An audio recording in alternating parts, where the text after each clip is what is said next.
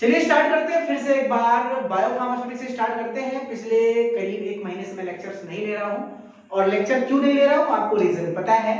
और जिन लोगों ने मुझे कॉन्ग्रेचुलेट किया उन सबको बहुत बहुत थैंक यू तो चलिए स्टार्ट करते हैं। आज हम लेक्चर नंबर थर्टीन स्टार्ट करते हैं। यूनिट नंबर वन बायोफार्मास्यूटिक्स में एक दो लेक्चर रह गया था, उसको खत्म करके हम यूनिट वन को खत्म करेंगे।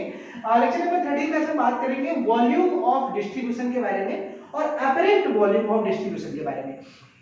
What is the volume of distribution देखिए, आपको पता है कि जब ड्रग हमारी बॉडी में एब्जॉर्ब हो चुकी है तो एब्जॉर्ब होने के बाद जो सबसे इंपॉर्टेंट प्रोसेस है डिस्ट्रीब्यूशन मतलब वो हमारी बॉडी में जो ड्रग है, वो हमारे पर्टिकुलर अलग अलग रिसेप्टर के पास अलग अलग बॉडी ऑर्गन के पास वो पहुंचेगी। और वो कैसे पहुंचेगी?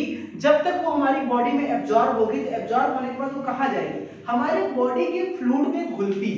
और हमारी बॉडी का जो वॉल्यूम है, हमारी बॉडी में जो फ्लूड है वही एक इंपॉर्टेंट पैरामीटर है जो डिसाइड करता है कि कितना ड्रग हमारी बॉडी में एब्जॉर्ब होगा और कितना ड्रग हमारी पर्टिकुलर किस एरिया में पहुंचेगा।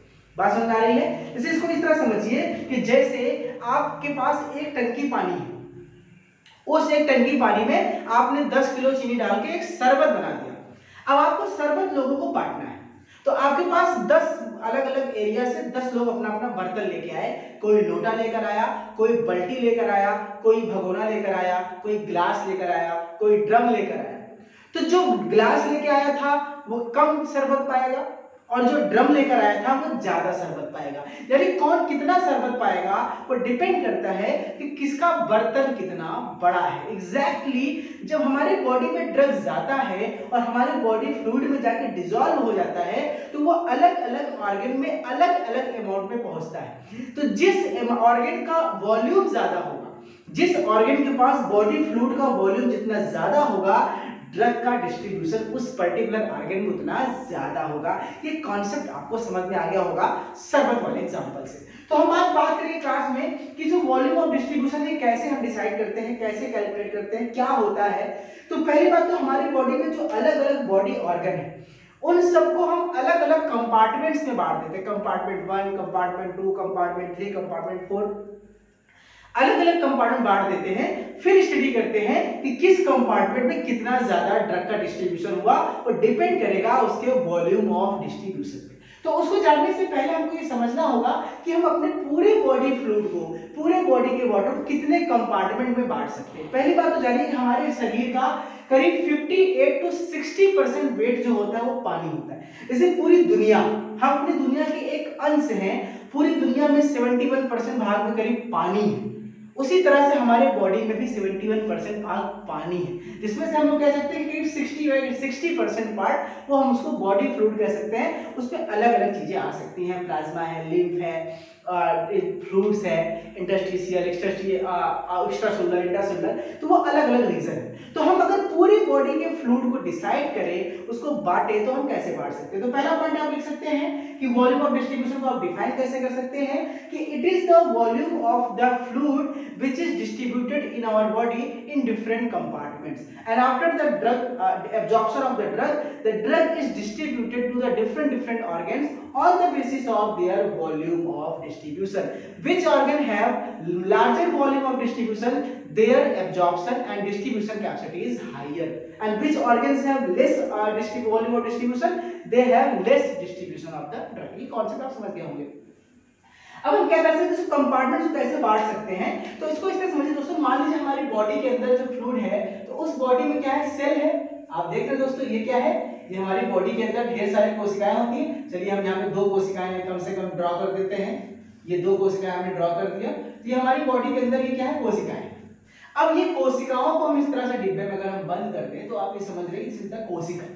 अब ये जो तो, देखो फ्लूड इसके अंदर भी भरा है जिसको हम लोग साइटोप्लाज्म कहते हैं जिसके अंदर सेल न्यूक्लियोप्लाज्म साइटोप्लाज्म सब मिला के होता है। ठीक है? और ये इसके अंदर भी फ्लूड है और इसके बाहर भी फ्लूड है और इनके बीच में भी फ्लूड है। तो इस तरह से हम तीन भागों में बांट सकते हैं। जो फ्लूइड सेल के बाहर है, इस रीजन को कहते हैं एक्स्ट्रा सेलुलर फ्लूइड ध्यान दीजिएगा, हम अपनी पूरी बॉडी में जितने भी फ्लूड हैं, उसको हम तीन कंपार्टमेंट में बांटने की कोशिश कर रहे हैं। तो पहला कंपार्टमेंट क्या है? जो सेल के बाहर का फ्लूड है, सेल के बाहर का लिक्विड है, उसको हम कहते हैं एक्स्ट्रा सेलुलर फ्लूड या फ़र्स्ट कंपार्टमेंट दूसरा, जो लिक्विड सेल के अंदर है, यानी सेल के अंदर जो लिक्विड है साइटोप्लाज्म साइटोप्लाज्म न्यूक्लियोप्लाज्म राइबोसोम के अंदर लाइसोम के अंदर, सारे ऑर्गन के अंदर जो लिक्विड है this is called intracellular fluid okay तो हमने दो भागों में बांट दिए दोस्तों, किसमें? एक्स्ट्रा सेलुलर फ्लूइड और इंट्रासेलुलर मैक्सिमम अमाउंट आप समझ लीजिए कि पूरे बॉडी का जो वाटर होता है, तिरालीस परसेंट भाग, यानी 43 परसेंट भाग ये बाहर वाला होता है और 57 परसेंट भाग जो होता है, वो अंदर वाला। यानी कि मैक्सिमम भाग जो होता है हमारी बॉडी में, अगर आपका जीपीटी क्वेश्चन होगा तो मैक्सिमम जो पोर्शन है वो इंट्रासेलुलर का होता है। और जो कुछ पोर्शन होता है, यानी 43 परसेंट जो होता है, वो एक्स्ट्रा होता है। अब तो ये 43 और 57 मिला तो 100 पूरा हो गया। अब स्पेस कहाँ बचा? कुछ point percent point one point zero zero one यानी बहुत कम परसेंटेज होते हैं। दो सेल के बीच का जो ये आपको स्पेस दिख रहा है दोस्तों, ये वाला स्पेस ये दो सेल के जो बीच का स्पेस है, इसको बोलते हैं इंटरसेलुलर स्पेस और इसके बीच जो लिक्विड भरा है, जो फ्लूड भरा है, इसको ट्रांस सेलुलर फ्लूड बोलते हैं. यानी हम इस तरह से हमने मान लिया कि कुल तीन कंपार्टमेंट में इसको हम बांट सकते हैं. Extracellular fluid intracellular fluid and the बीच वाले को बोलते हैं ट्रांस सेलुलर फ्लूइड इसकी मात्रा बहुत कम होती है, क्योंकि सेल के बीच में स्पेस बहुत कम होते हैं और टाइट जंक्शन के द्वारा जुड़े होते हैं। ठीक है? तो अब हम बात करेंगे कि किस फ्लूइड में, किस कंपार्टमेंट में कितना वॉल्यूम ऑफ़ डिस्ट्रीब्यूशन होता है, कितना वाटर होता है, कितना फ्लूड होता है, कितना उसका बॉडी वेट होता है और कौन कौन से आर्गन में ये ज़्यादा होता है, कहाँ पे कम होता है, बस यही हमको अपनी कॉपी में लिखना है। तो नेक्स्ट पॉइंट आप क्या लिख सकते हैं कि द टोटल बॉडी वाटर या total body fluid is divided into the three compartment compartment number 1 extracellular fluid compartment number two intracellular fluid and compartment number 3 transcellular fluid इस तीनों को वन टू थ्री करके लिख लीजिएगा कॉपी में notes बनाइएगा, और इस फिगर को आप चाहे तो ड्रॉ कर सकते थोड़े से अच्छे से बनाइएगा, मैं तो ऐसे ही बना दिया ठीक है? तो अब हम बात करेंगे डायरेक्ट पहली heading extracellular fluid extracellular fluid के बारे में कुछ पॉइंट्स हम यहाँ पे डिस्कस करेंगे. जो एक्स्ट्रा सेलुलर फ्लूइड है दोस्तों, उसका जो पूरी बॉडी का 27% वेट जो होता है हमारी बॉडी का, वो ईसीएफ होता है एक्स्ट्रा सेलुलर फ्लूइड ओके हमारी बॉडी अगर एक एवरेज इंसान की माना जाए तो 70 किलो बॉडी वेट होता है. अगर माना कि एक स्वस्थ व्यक्ति का शरीर 70 किलो है तो उस 70 किलो के वेट में आप बताइए कितना फ्लूड होता है? तो उसमें 27 परसेंट अप्रोक्स 17 लीटर 70 लीटर जो होता है, हमारी बॉडी का जो है, वो एक्स्ट्रा सेलुलर फ्लूइड का पार्ट होता है। एक हेल्दी व्यक्ति में सेवन करीब उसका वेट 60 टू 70 किलो होना चाहिए। आज से बहुत पुरानी वीडियो आप देखिए मेरा वेट करीब 81 82 केजी था। प्रेजेंट टाइम में 68 70 के आसपास में हूँ। तो मैं कह सकता हूँ, मैं कुछ हद तक ठीक हूँ। तो अब ठीक हो गया हूँ, है ना? तो ये 27 परसेंट बॉडी वेट होता है। और पूरे बॉडी का जो वाटर होता है, हमारी बॉडी में 71 परसेंट वाटर है, उसका 43 परसेंट भाग क्या होता है? एक्स्ट्रा सेलुलर फ्लूड और इसका लगभग वॉल्यूम कितना होता है? 17 लीटर तो पहला पॉइंट आप क्या ले सकते हैं एक्स्ट्रा सेलुलर फ्लूड में कि this contains 27 percent part of the full body weight and approx 43% of the total body water and the weight and the volume is about 70 liter in a 70 kg adult किसी 70 kg adult में 70 liter इसका volume होता है next point क्या लिखेंगे कि इसमें जो maximum amount होता है वो sodium ion का होता है बहुत important role है sodium ion का और जब भी हमारी बॉडी में डायरिया होता है, उल्टी है लैटरिंग है प्रॉब्लम है बॉडी से वाटर का लॉस हो रहा है वोमिटिंग है डायग्रेसिस है ब्लड लॉस है तो हमारी बॉडी में जो इलेक्ट्रोलाइट या जो वाटर लॉस होता है, वो मैक्सिमम ईसीएफ वाटर ही होता है एक्स्ट्रा सेलुलर फ्लूइड ठीक है? यही हमारी बॉडी से बाहर निकल जाते हैं, जिससे हमको वीकनेस होती है क्रैम्प आते हैं. तो नेक्स्ट पॉइंट क्या लिख सकते हैं कि the ECF fluid contains maximum sodium ion ठीक है? And during the water in the in the case of diarrhoea vomiting, diuresis, blood loss, kidney failure, then the maximum amount of sodium ion is released outside from the extracellular fluid. ठीक है? अब हम बात करते हैं कि ये जो ECF है हमारे बॉडी में किस किस कंपार्टमेंट में बटा हुआ है? यानी कि पूरा का पूरा जो ECF है एक्स्ट्रासेलुलर फ्लूइड वो कहाँ पे होता है हमारी बॉडी के? तो इसका बहुत सारा अमाउंट हमारे प्लाज्मा में होता है ब्लड प्लाज्मा दूसरा interstitial lymph fluid dense connective tissue bone water इन सब जगह पर ईसीएफ की मात्रा होती है। तो नेक्स्ट पॉइंट आप क्या लिख सकते हैं? कि the extracellular fluid is basically present in the plasma interstitial lymph fluids dense connective tissue bone and water okay इतना पॉइंट हमने लिख लिया ईसीएफ के बारे में। नोट्स बना से लेगा बहुत जल्दी अपलोड करना स्टार्ट करूँगा वेबसाइट पे W dot K C L pharmacy dot com पे। थोड़ा सा प्रोसेस बहुत डिले हो गया। अब बहुत तेज़ी से मैं काम करूँगा ओके दूसरी बात करते हैं, अगली हेडिंग है इंटरसेलुलर फ्लूइड इसमें सिंपल सा लिखना है कि ये आईसीएम जो है हमारी बॉडी का सबसे मैक्सिमम पार्ट होता है 57% होता है पूरी बॉडी वाटर का पार्ट और इसका वेट करीब आप मान लीजिए 24 लीटर 70 लीटर ये होता है तो 24 लीटर किसी भी 70 किलो के एक यंग मैन में। तो उसमें हम क्या लिख सकते हैं कि द इंट्रासेलुलर फ्लूइड यानी ICF is the major portion of the body fluid which is present in any human it is about 57% of total body water and its weight is about 24 liter. The amount is about 24 liter in a 70 kg healthy man. Okay? Next heading है transcellular fluid तो बताया कि which is basically this is the fluid ये कैसे बनते हैं? जब एक कोई मटेरियल हो ये एक्चुअली बीच में कोई होता नहीं जब कोई फ्लूइड मटेरियल इस सेल से, इस सेल में या इस सेल से, इस सेल में जब यहाँ पे ट्रांसपोर्ट होता है, किसी लिक्विड का ट्रांसपोर्ट होता है, कुछ भी होता है तो उस ट्रांसपोर्ट के कारण जो कुछ अमाउंट ऑफ़ लिक्विड यहाँ पे इकट्ठे हो जाते हैं, उसी को इंटरस्टिशियल फ्लूइड हैं So because uh, it is present between the two uh, uh, between the junction of two cells, there is very less space in the tight junction. So the amount of interstitial fluid is very less.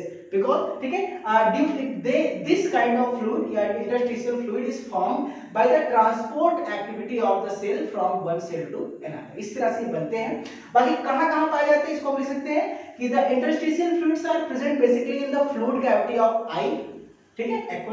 से आपने देखा होगा CSF cerebrospinal fluid GIT fluid यानी हमारे पेट में जो fluid भरे होते हैं ग्लैंड स्किन एंड ठीक है एक्सेट्रा इन सब जगहों पे हमारे ये फ्लूइड्स पाए जाते हैं, ठीक है? तो ये दोस्तों हमारे हो गए कंपार्टमेंट्स के बारे में। अब हम बात करेंगे apparent volume of distribution what is the apparent volume of distribution तो इसको इस तरह समझिए दोस्तों। जैसे मैंने आपसे शुरू एग्जांपल दिया था कि मैंने एक टन की पानी घोल लिया। वो जो टंकी पानी हमने उसमें शरबत बना घोल लिया और आपको शरबत पीना था तो आप मेरे पास एक बड़ा सा भगोना लेके आए दस लीटर का। और मैंने आपको शरबत दे दिया। लेकिन जब आप घर गए तो आपको क्या हुआ? आपने दो गिलास, तीन गिलास शरबत पिया। यानी आप मान लीजिए कि एक गिलास करीब आधा लीटर का होता है तो आपने चार गिलास शरबत पिया तो दो लीटर आपने पिया। किसी तरह से बाकी आठ लीटर आप नहीं पिए। वो हो सकता है किसी और ने दोस्त ने पी लिया, किसी गिर गया, कुछ भी हो गया, लेकिन आपने उस दस लीटर में से आपको मिला कितना? दो लीटर। तो आपके लिए जो वॉल्यूम ऑफ़ डिस्ट्रीब्यूशन है वो दस लीटर नहीं है। आपके लिए एपरेंट मतलब एक्चुअल है दो लीटर, क्योंकि आप भले लेकर आए। देखिए, टंकी मेरे पास सौ लीटर की थी तो जो वॉल्यूम ऑफ़ डिस्ट्रीब्यूशन एक्चुअल है वो सौ लीटर है। आपको कितना मिला? दस लीटर। लेकिन उसमें आपने इस्तेमाल कितना किया? दो लीटर। बात समझ आ रही है? तो एपरेंट वॉल्यूम ऑफ़ डिस्ट्रीब्यूशन का मतलब क्या होता है कि भाई हर वॉल्यूम बॉडी ऑर्गन के पास अपना खुद का एक वॉल्यूम ऑफ़ डिस्ट्रीब्यूशन होता है, खुद का एक बॉडी वॉल्यूम होता है। लेकिन जब हमारा ड्रग डिजोल्व होता है, उस पर्टिकुलर ऑर्गन में जा करके तो ज़रूरी नहीं है कि वो पूरे के पूरे ऑर्गन में जाके डिजोल्व हो। वो सिर्फ़ उतने ही पोर्शन में डिजोल्व हो सकता है, जितने की उसको नीड है। और उतने का अगर पूरी तरह से घुल जाएगा तो बाकी का इस्तेमाल नहीं होगा। तो आपका जो एपरेंट वॉल्यूम ऑफ़ डिस्ट्रीब्यूशन है, वो कम है। एग्ज़ाम्पल समझिए कि हमारे पूरे बॉडी का जो फ्लूड है, हमने मान लिया कि हमारे बॉडी का जो पूरा का पूरा फ्लूड है, उसमें पूरे बॉडी में जो लीवर है, उसका वॉल्यूम मान लीजिए दो लीटर। और उस वॉल्यूम में जब कोई ड्रग जा रहा है लीवर में जब कोई ड्रग जा रहा है तो उसमें 300 या 500 एमएल में ही ड्रग डिजोल्व हो गया। तो पूरे दो लीटर में सिर्फ़ 500 एमएल इस्तेमाल हुआ उस ड्रग को पूरी तरह से डिजोल्व करने में। इसलिए उस ऑर्गेन का जो एपरेंट वॉल्यूम ऑफ़ डिस्ट्रीब्यूशन है, वो 500 एमएल है, नौ की दो लीटर बात समझ आ गई? यानी कि जितना हमारे पास एक टंकी पानी भरा है, लेकिन हमने नहाने के लिए सिर्फ़ दो बाल्टी इस्तेमाल किया तो हमारा जो अपरेंट वॉल्यूम ऑफ़ डिस्ट्रीब्यूशन है, वो दो बाल्टी है। क्लियर तो हम इसको डिफाइन कर सकते हैं कि the apparent volume of distribution is defined as the volume of fluid in which drug appears to be distributed और डिजोल्व जितने अमाउंट ऑफ़ में डिजोल्व है। दूसरी भाषा में लिख सकते हैं, आसान भाषा में, कि it is the actual amount of the fluid of any organ which is required for the distribution and dissolution of any drug किसी भी ड्रग के डिस्ट्रीब्यूट और डिजॉल्व होने में जितना कम से कम वॉल्यूम की आवश्यकता होती है किसी ऑर्गन में, उसी को उसका एपरेंट वॉल्यूम ऑफ़ डिस्ट्रीब्यूशन कहते हैं। बस आसानी से इसको आप समझ सकते हैं, आसानी से इसको आप लिख सकते हैं। अब इसका, इसको फार्मूला क्या होता है? This is the x equal to vd into c, जहाँ पे x क्या है? Equal to the plasma drug concentration जो ड्रग पूरे बॉडी का जो कंसंट्रेशन सॉरी x क्या है? पूरे बॉडी का जो वॉल्यूम है। Vd क्या है? वॉल्यूम ऑफ़ डिस्ट्रीब्यूशन और c क्या है? प्लाज्मा ड्रग कंसंट्रेशन ठीक है? इसको ऐसे कैलकुलेट कर सकते हैं, या हम कह सकते हैं कि vd इक्वल टू क्या हो जाएगा? x बाई सी इस तरह से हम कैलकुलेट कर सकते हैं। कुछ एग्जांपल देख लेते हैं कि volume distribution litre per kg के हिसाब से किस किस ऑर्गन का किस किस ड्रग का कितना होना चाहिए। जैसे क्लोरो क्लोरोक्वीन का जो होता है, वो 200 होता है 200 लीटर पर पर केजी प्रोपेनोलॉल का 2 से 5 होता है डाइजापाम का 1 से 2 होता है पैरास्टामोल का 1 से 2 होता है तो ये सब कुछ डेटा है। जो आप याद कर लेंगे तो आपके नोट्स में काम आएगा, आपके जीपैड वगैरह में काम आएगा। ठीक है? तो कुछ फैक्टर्स देख लेते हैं, किस फैक्टर पर डिपेंड करता है वॉल्यूम ऑफ़ डिस्ट्रीब्यूशन देखिए वॉल्यूम ऑफ़ डिस्ट्रीब्यूशन क्या है? एक होता है प्लाज्मा का आपका जो प्रोटीन बाइंडिंग है, और दूसरा होता है एक्स्ट्रा वैस्कुलर यानी ब्लड के अलावा जो बाहर की चीज़, जैसे आप समझिए, ये ब्लड वेसल है, इसके अंदर ब्लड बह रहा है, और इसके बाहर भी कोई फ्लूइड है तो इसके बाहर जो फ्लूइड है, उसको बोलते हैं एक्स्ट्रा वैस्कुलर और जो इसके अंदर है, वो क्या है? प्लाज्मा प्रोटीन बाइंडिंग है हम कह सकते हैं वैस्कुलर तो दो तरीके से हमारी जो ड्रग है, वो डिजोल्व हो सकती है। एक यहाँ डिजोल्व हो सकती है प्लाज्मा प्रोटीन में और दूसरा डिजोल्व हो सकती है एक्स्ट्रा वेस्कुलर तो अगर कोई ड्रग प्लाज्मा प्रोटीन में ज़्यादा डिजोल्व होती है और एक्स्ट्रा वेस्कुलर में कम डिजोल्व होती है तो उसका वॉल्यूम ऑफ़ डिस्ट्रीब्यूशन हमेशा लो रहेगा। इसको याद रखना जीपाइट जस्ट बहुत इंपॉर्टेंट पॉइंट है कि नेक्स्ट पॉइंट लिख सकते हैं कि the volume of distribution it depends upon the following factor if the drug dissolve in maximum in the plasma protein and less dissolved in the extravascular region then their volume of distribution should be low हमेशा लो होगा उल्टा कर दीजिए plasma protein में कम dissolve हो रहा है और बाहर ज़्यादा यानी when any drug is less dissolved in plasma protein and maximum dissolved in the extravascular region then their volume of distribution should be higher will be high हमेशा हाई होगा तो एक छोटा सा पोर्शन मैंने कोशिश किया खत्म करने का अब इसमें एक टॉपिक बचा है दोस्तों बस फैक्टर अफेक्टिंग डिस्ट्रीब्यूशन जो कि मैं केवल एक्सप्लेन कर दूँगा शॉर्ट फॉर्म के? और एक और लेक्चर लूँगा लेक्चर नंबर 14 और यूनिट नंबर 1 में खत्म कर दूँगा यूनिट नंबर 2 क्या होगा? और हाँ, मुझे पता है आप बहुत दिन से मैसेज कर रहे हैं कि बायोटेक शुरू करिए बायोटेक शुरू करिए बायोटेक शुरू करिए। सब शुरू करूँगा, बहुत जल्दी शुरू करूँगा। वापस आ गया हूँ थैंक यू सो मच ठीक है? फिर आपसे मिलते हैं नेक्स्ट क्लास में थैंक यू सो मच